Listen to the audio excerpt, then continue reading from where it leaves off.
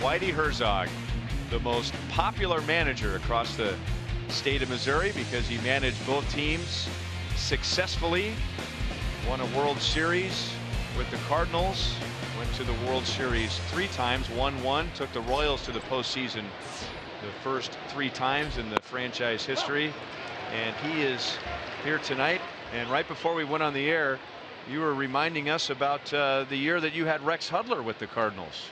Uh, Rex and I had some laughs. You know, the, fan, the fans always loved Rex because he hustle, hustle, hustle, and you know, if there was a boo-boo at first or he beat the play because he could run, he'd take off for second, and if there was another boo-boo, he'd take off for third. But eventually, he'd run himself out. You know, so one day I was talking to Rex, and I said, Rex, I really don't make any difference to me where you make out first, second, or third. What the heck's the use to keep going? You're going to be out anyway before you get done. but we had some laughs. I remember he told me, hey, you know, you can stop at a base once in a while. we, we had some laughs. I want to tell you. But he was a fun guy to have in your ball club. And uh, the fans love Rex Hudler. Mm-hmm. I mean, in Montreal, in St. Louis, in Anaheim, anywhere he's ever been. Thanks, Whitey. Yeah. This uh, this must be a lot of fun for you to watch these two teams playing as well as they are. Well, you know, Rex, when uh, they started interleague play, I didn't agree that they should do that. I think there's enough travel in baseball. I don't really see any need for it. I don't think the White Sox or Cubs need it. I don't think the New York clubs need it. But at that time, Kansas City being a doormat and down, it was nice that they got to play six games or three games here every year with the Cardinals because mm-hmm. they packed the house, you know. Mm-hmm. But now you got two teams that are good, and it's a little tougher for the Cardinals to come and play them here or play them in St. Louis because, you know, these two teams could meet in the World Series if if things broke right. You can't say nothing's for sure today because of the wild card, the knockout game winning your division. You know, it's uh, you used to have to win your division to get in the playoffs. You know, you got Miami wins two times, uh, finished second. I mean, finished 13 games out, nine games out. Mm-hmm. Cardinals last two World Championships, 11 and a half games out, nine games out, and we win the World Championship. I'm not against the fact that more teams get in the playoffs and so forth, but once again, when I look at, you got to add the other wild card team now, the knockout game. That's a joke. It's tough, one game. You know, you got one game you play all year, 162 games, and you got one game that you don't know. Just take, look at the Royals last year. They get down 6-2 to Oakland. Moss hit the three-run homer. They got their best pitcher going, Lester. He's got 94 pitches, and he's winning 6 to 3. Uh, and he walks a guy on a 3-2 pitch with two outs that could have been strike three. And he was ball four, and they take him out. Now, here's a guy they traded half the franchise for. He's only got 94 pitches, two outs and two men on. They bring in a guy from the bullpen, gives up three hits, ties the game. The Royals win 11, and from that on, it turned the city around. It turned the baseball team around, the players around, and it's still something that's happened. And I said, I, I don't understand that. I'm not second guessing Melvin because he's done a good job why would you give that much to get a pitcher? And why would he have 94 pitches and two outs in a six inning with a strictly lead? Mm-hmm. And you take him out. I got to give him another hitter, at least a hitter. Now, you know, I mean, I can't take him out in that situation. Think he stared at the ceiling a few oh, times during the offseason right. and thought about that? Huh? Think he stared at the ceiling during the offseason a few times and thought about that move? Well, you know, you know, then you can look back.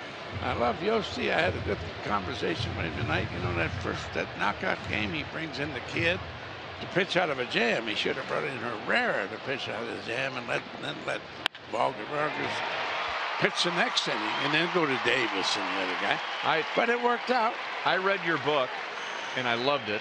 You're missing a great game. Right. And I I've used a line that you had in that book what would help you sleep at night is that when you were deciding who was going to pinch hit or who you're going to bring out of the bullpen, the guy with more zeros in his salary yeah. was the one you were going to defer to because yeah. there's a reason why they're making that money. That's right. I, I learned that against Rusty Staub in the camp in Detroit when I first managed an American League for the Royals. And I had a situation in Detroit where Kemp was having a great rookie year, the kid from Southern Cal. Mm-hmm. left-hand hitter, and he was hitting behind Staub. And uh, no, he was hitting in front of Staub. He was hitting third. Best of Staub was hitting fourth. And I walked Kemp to get the Staub. and you know, Steve Kemp. Uh, you know, I had to set up first play, but in the meantime, no, I could have. I, I shouldn't. Have, I wouldn't have had to do that. But anyway, to make a long story short, Rusty could hit, and he blew one in, you know, down in, and I, was, I said that from that time on, there's a reason he's making three million and Kemp's making rookie stuff. right, right. And that was always something I, I looked at and something that I felt that I could sleep with. Mm-hmm. We just a few moments ago had a shot of all the or some of the championship banners up on the the Royals Hall of Fame and you were manager in 1976 and then 1977 the team that won 102 games 1978 know that's when it all started when you were manager and the team went from an expansion team to a to a model franchise in the American League. Well, you know, basically, I got fired in Texas. I got Ted Williams talked me into taking that job. It was probably the dumbest thing I ever did in my life. I got fired in September 8th that first year, and uh, uh, my record was 47-91. I didn't think I'd ever get another chance to manage, being a no-name player or just a hanger-on. And I went out and coached for Winkles at, at uh, in L.A. in Anaheim. But Joe Burke, who was my general manager of Texas, came to Kansas City. And uh, when he thought he had to make a change, he interviewed Lasorda and Billy Hunter and myself. And he chose me to take over the job in the middle of June. And I stepped into a wonderful situation. Brett was a rookie. Then Mayberry was hitting 39 home runs. I had two great players on the bench, and Frank White and Al Cowens. I had McRae, I had Otis, I had Freddie Patek, a wonderful turf shortstop. He could play shortstop on that turf. And you know, when I put Brett Cowens in the lineup and took uh, uh, Cookie Rojas and made a Pincinat, it was like getting two superstars and not giving up nothing. Right. And we just took one. And if, you never forget in 77, we started off 36 and 36 and uh, half a game out on August 30th and uh, Gene Mauch was managing Minnesota. He said nobody's good enough to pull away. I'll never forget that. And I put that up in the bulletin board so the players would see that. We won 16 in a row, beat Oakland a doubleheader right here at 3.30 in the morning. And seven people drowned in the flash floods leaving the ballpark that night. Doc Benitez come in the next night and threw a 1 0 shutout to break our 16 game losing streak. And then we won eight more. We won 24 out of 25. Bulletin and board. And ended up winning 102 games. Bulletin board material worked. Well, you know, everything, I, that, that, every move you make, things when things are going good, everything works out. Right.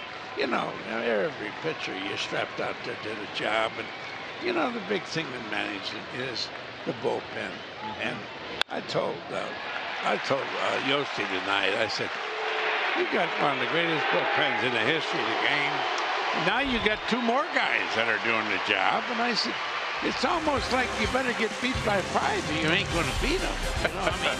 But I never seen a team that could lose a starter for 30 days and then put a guy out there and don't give up a run. we love you, Rod. We love you, buddy. Thanks for coming.